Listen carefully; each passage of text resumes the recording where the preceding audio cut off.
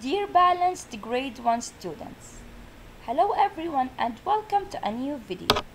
Today we are going to introduce the first unit or theme that we are going to cover in our interesting UOI classes.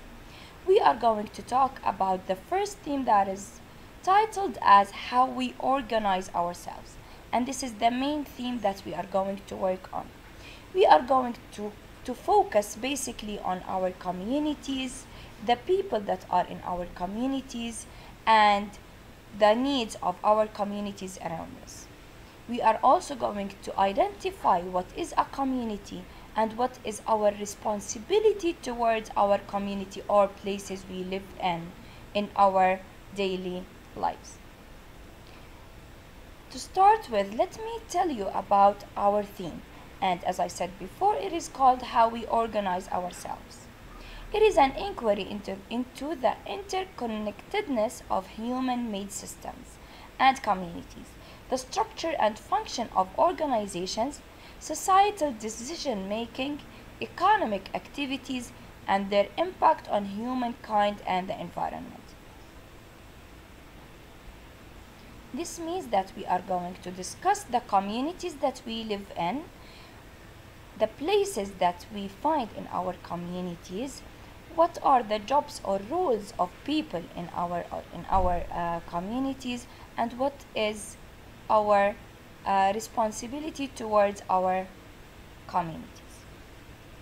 Now the central idea of our theme is going to be people in communities have roles and responsibilities to achieve goals. The lines of inquiry are going to be three the first one is needs of the community that is connected to the key concept causation, roles and responsibilities of community helpers, or the function of each community helper in our community and what are the jobs that they do and how jobs help a community. The key concepts of our theme or unit are going to be causation, function, and responsibility. The related concepts are going to be needs, systems, and jobs. The learner profile attrib attributes that we need you to have throughout this unit are going to be that you are caring and principled learners.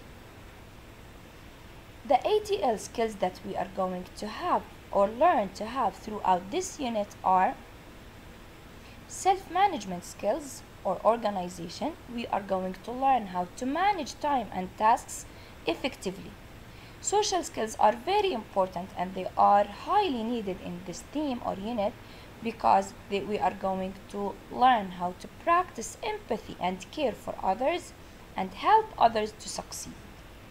This, these are important keys that will lead us to interpersonal relationships and social and emotional intelligence research skills are always important because we always research and inquire for information in our classes. We are going to record our observations, drawings, charting, tallying, or using emergent writing skills when possible to write comments, annotate images, and so on.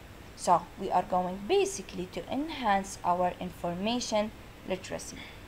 The communication skills are very important throughout our classes because we always communicate, we always share ideas, we always reflect on our learning. And we always exchange information with others.